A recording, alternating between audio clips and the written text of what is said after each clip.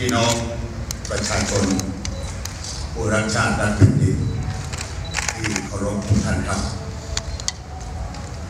ในนามของมวลมหาประชาชนผมขออนุญาตใช้เวลาสั้น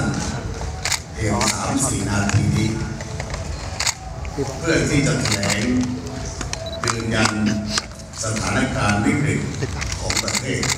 ที่เป็นอยู่ในขณะนี้กฎหมาย ไม่มีอำนาจ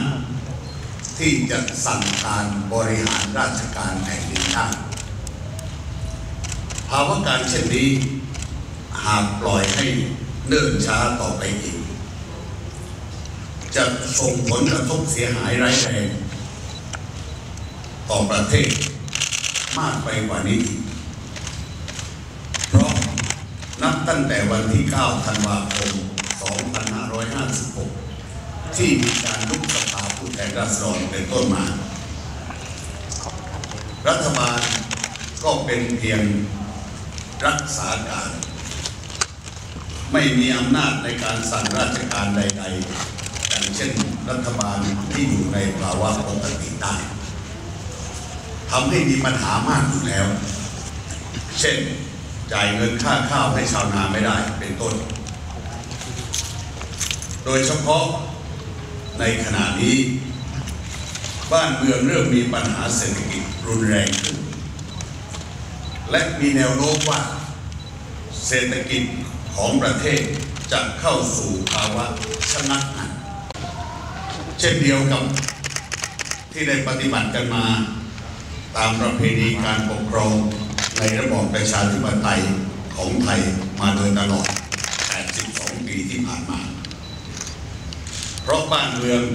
จะขาดนายกรัฐมนตรี และคณะรัฐมนตรีที่มีอำนาจเต็มในการบริหารราชการแผ่นดินไม่ได้ ขณะนี้วุฒิสภาเท่านั้นที่เป็นองค์กรเดียวที่เป็นตัวแทนของปวงชนชาวไทย โดยชอบด้วยกฎหมายจึงมีหน้าที่โดยชอบธรรม ที่จะต้องดำเนินการให้มีนายกรัฐมนตรี เพื่อจัดตั้งรัฐบาลใหม่ ที่มีอำนาจเต็มในการบริหารราชการแผ่นดินเรียกร้องในนามของมวลมหาประชาชน ไปยังพี่น้องประชาชนทุกฝ่าย ทุกภาคส่วนทุกองค์กร ขอได้โปรดร่วมกันร่วมกันเรียกร้องไปยังประธานวุฒิสภาและสมาชิกวุฒิสภา ให้รีบลงมือดำเนินการ เพื่อให้มีนายกรัฐมนตรี ตามความคาดหวังของมวลมหาประชาชนโดยทันที ไม่ชักช้า และมวลมหาประชาชนจะติดตามการทำหน้าที่ของวุฒิสภาโดยใกล้ชิด